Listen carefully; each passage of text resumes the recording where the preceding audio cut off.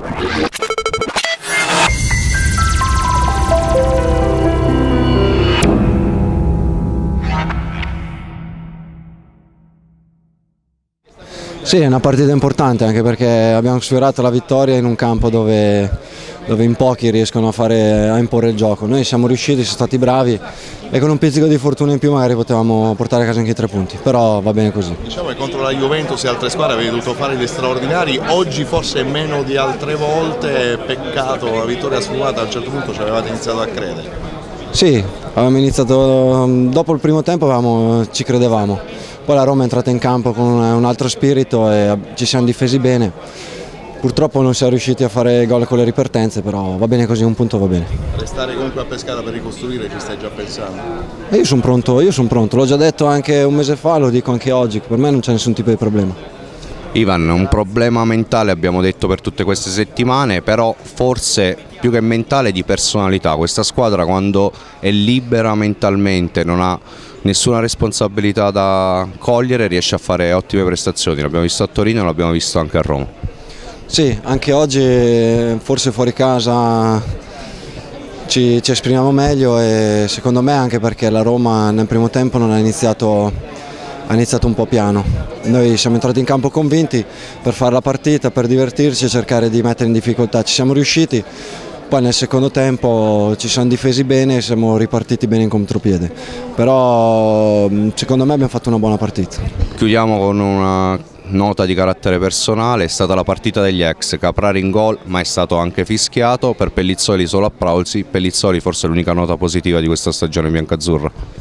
No, personalmente sono contento, però io faccio parte di un gruppo e quindi è normale che una stagione così è brutta, è brutta perché mh, potevamo magari con un po' di fortuna in più cercare di, di, avere un po' più punti, però non è ancora finita e noi ci dobbiamo provare fino alla fine. Gianluca Caprari, soddisfazione di andare in gol nella tua Roma contro la tua Roma e forse anche un po' di dispiacere per i fischi all'uscita, raccontaci un po' il tuo stato d'animo per tutta questa giornata per te particolare. Ah, I fischi fanno parte del gioco, i tifosi sono liberi di fare quello che vogliono, io per rispetto loro non ho esultato perché otto anni ho passato qui e sono stati otto anni più importanti della mia vita. Venendo alla partita, un Pescara che in pochi si aspettavano riesce a strappare un punto della Roma, quanto c'è di soddisfazione e quanto c'è di rimpianto visto il precedente cammino? No, eh, di soddisfazione ce n'è poca perché eh, come dici tu, visto il precedente cammino abbiamo fatto male male male. E oggi siamo riusciti a strappare un punto contro una grande squadra. Chiudiamo su una cosa di mercato che riguarda te, ci giungono notizie che da Torino Ventura ti vuole fortemente. Cosa pensi di questo e cosa ci puoi dire del tuo futuro? Eh, fa piacere che un mister come Ventura dica queste cose io comunque finisco, cercherò di finire al meglio questo campionato e poi il futuro vedremo.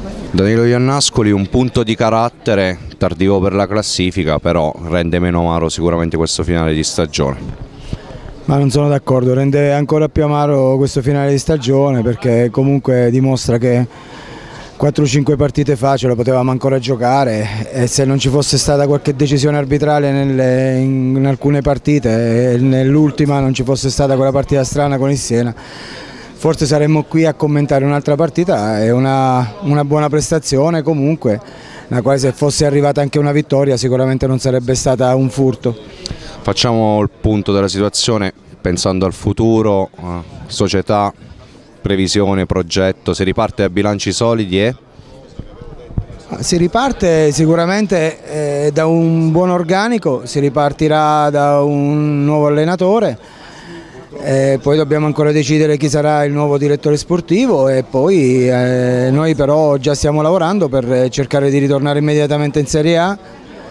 Ripeto, certo che oggi il rammarico è ancora maggiore rispetto a quello di queste ultime settimane, perciò è chiaro che avremmo potuto fare meglio e purtroppo non ci siamo riusciti. È stata una stagione strana, speriamo che, che la prossima sia completamente eh, diversa e che riusciamo a ridare una gioia al nostro, al nostro, pubblico e ai nostri tifosi. Chiudiamo con una battuta su Cristian Bucchi, al di là del punto di oggi, comunque nella sua gestione qualcosina di buono si è visto quantomeno a livello caratteriale.